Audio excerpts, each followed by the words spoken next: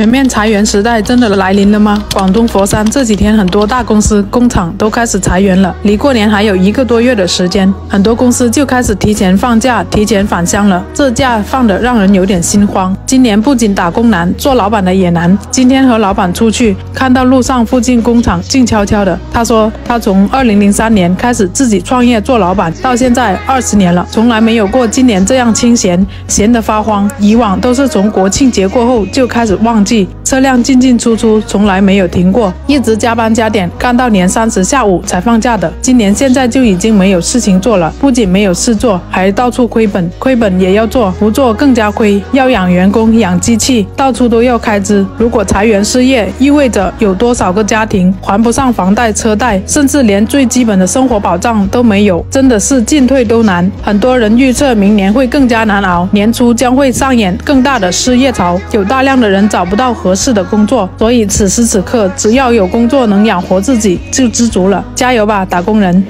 还记得我们说过吧？年底裁员是为什么？为的就是不发年终奖。所以你看，这次京东裁员给 N 加一，想要年终奖没有啊？不再解除线上签字，HR 就单解，直接说你走维权程序吧。那为什么一边裁人，一边还说你去维权吧？这样的话呢？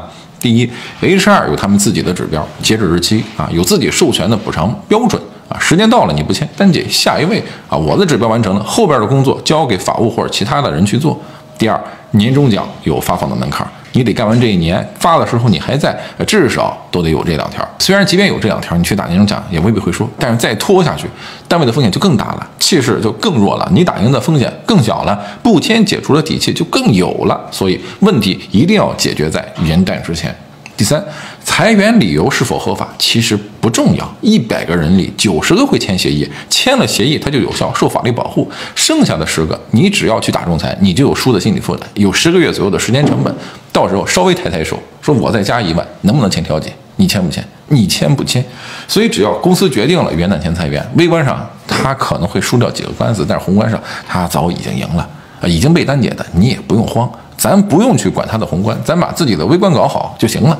哪怕调解多拿回来一万，咱也不亏，不是？那问题来了，兄弟们，东哥明明说过不会开除任何一个兄弟，怎么他也来整这一套呢？是东哥是说过这话，可是东哥还说过，混日子的人他不是我的兄弟，也不矛盾，是不是？可是东哥说过的另外一句话，他就不好圆了。什么话呢？说不会外包任何一个员工。可现在人家不光有外包，而且外包。也已经裁了一批了，裁员也不是绝对的坏事，有外包做总比什么都没得做要好，能做一阵子总比一直没得做要好。退一步讲，这些大厂裁员的积极意义可能还在于，也许慢慢大家会意识到，不管我在什么样的单位，是不是拼命的无偿加班，都有可能会被裁掉，无非是个早晚的问题。那我还加个什么劲？我还卷个什么劲？我还舔个什么劲？把分内的工作干好就得了，真正能有八个小时回归家庭和生活，把精力放在。教育、娱乐、健康、消费这些上面，嗯，你看裁员还能推进社会进步呢，是不是？爸爸妈妈，其实我裸辞已经五个月了，为了省钱搬到了郊区，我没敢告诉你们，怕你们骂我那么好的工作为什么不珍惜，怕你们疯狂催我继续找工作。其实每次通话我跟你们说的，我在这里很好。老板器重我，钱多事儿少，不加班，公司有前景，不会裁员，都是骗你们的。我想一直做你们眼里那个优秀、骄傲的女儿，可是事与愿违，真的好难啊。其实我最近不太快乐，我想像闺蜜一样跟你们倾诉，但又怕你们担心。我又怎么不知道你们在家里也很辛苦呢？其实我辞职这段时间，我成长了很多。以前总是因为工作的事情内耗、崩溃、痛苦，现在变得情绪稳定、更自信，眼里又有光了。我现在在积极的找工作，给自己做饭，去图书馆学习，找到了喜欢的兼职，收入能抵一些生活费了。你看，我长大了，一个人在外面也能照顾好自己。别担心，我一定会越来越好的。如果今天晚上我还看不到抓人的消息的话，我就绝对从一个死多头变成了空头。昨天、今天都是没有北向资金的，但是盘面是一塌糊涂，低开低走，全天是只有下午两点钟左右的时候有一个小小的挣扎，然后就是一路向下，稳稳的。以前有北向资金的时候，只要一下跌，就把这个下跌的锅甩给北向。这两天没有外资了。还是跌得这么惨，是更惨。怎么说？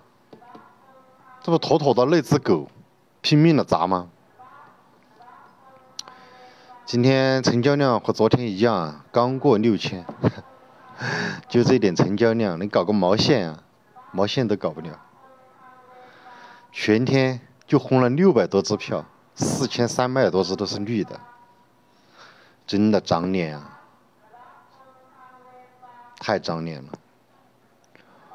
我一共是五个票啊，四绿一红，红的是仓位最轻的。哎呀，真的搞得我是欲哭无泪啊！这个股票是搞不了了。今天我把那只红的给走了，是刚刚回本，实在不想玩了，太没意思了。哎呀，也罢也罢，不玩就不玩吧。大家都别玩了。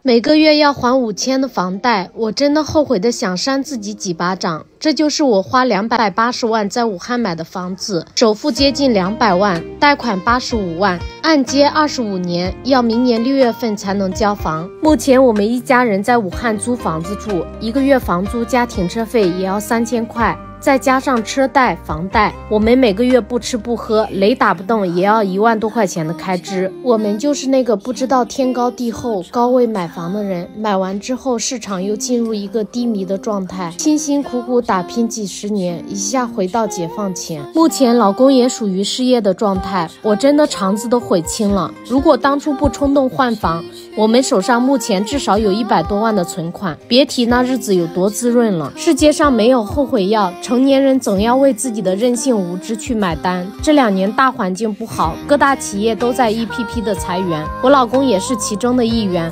接下来的日子里，我准备把车卖了，把房子退了，回到农村去生活。等到交房的时候再回来。姐妹们，你觉得我这样做对吗？有个医生朋友说，快年底了，医院里好几个医生都辞职了。自从三月份以来，医生工资加绩效总共就六千元左右徘徊，整整快一年了。也没有得到改观，而且一眼看不到希望。之前还一直在等，希望年轻制能够尽快实行，这样每个月会多收入点。但至今为止，医院改动倒是层出不穷，待遇改革却只字未提。有的科室原先六位一线的参与值班的医生，但三个月内辞职辞职走了三人，有两位去了私立医院，据说收入直接翻番，而且不用绩效。还有一个去了卫生院，选择躺平，收入虽然改变不大。但有更多的自主支配时间，很多科室正常倒班都非常困难，因此导致门诊、急诊有住院需求的患者，医生只能告知没有床位，回家等电话通知。而讽刺的是，医院科室的很多床位都是空置的，只是没有值班医生而已。网上所说，现在负债人呢大概有八亿左右，逾期率呢达到百分之四十以上，也就是说，除去老人和小孩，基本上可以说是全民负债了。明年呢会更多。因为我身边有几个朋友呢，就是在最近才选择了躺平，因为快过春节了，他们说如果再还的话，到春节只能吃萝卜白菜了，实在是没有办法，无能为力了。如果按这样的概率推算的话，那过了春节数量还会再增加。因为我的几个朋友呢还没有失业，还有工作干，只不过是工资降低了一点，然后还过房贷之后所剩无几。这还不是最要命的，最要命的是什么呢？就是他们手中的卡片还进去之后呢？立马降额，还有那些循环贷，你还进去之后，他不让你循环了，这是最要命的，这叫降额抽贷。也就是说，你欠一万块钱，然后你还进去两千，没事但是你要是敢还八千，没了，他立马给你发个短信说，因为综合评分不足，啊，额度降低了多少多少，这是最要命的，直接把人给干到崩溃。放贷机构呢，它不是慈善机构，它也是嫌贫爱富。只要他发现你穷了，不管是以前的什么普惠金融了，什么助农贷款了，什么大学生精英贷了，通通都不行，你给我死一边去！你饿死了跟他也没有关系。如果你工资高于两千，在中国就是王者，因为月收入两千以下的有九点六亿人。如果你工资高于五千，就是最强王者，因为全国有十三点二八亿人的收入在五千以下。是不是不相信？明明身边都是月入八千一万的，满马路都是有车的。听我给你一算，你就信了。首先，二十一岁以下的孩子和学生的收入为零，六十岁以上的老人就算有退休金也没多少，更何况很多都是在老家种地的农民，这两部分就有八亿不止。再加上全职妈妈。失去劳动能力的残疾人、无家可归的流浪汉、贫困山区的低保户，差不多有一个亿吧，加起来就是九个亿。问题来了，这九亿人靠谁养呢？就是这些月薪八千一万的王者们。他们作为家庭的主力，背着沉重的房贷，上有四个老人生病住院，下有一到两个孩子上学报班。这全家人一平均，又有多少人还能超过两千呢？表面上看，他们战胜了百分之九十的人，真相是他们养活了百分之九十的人。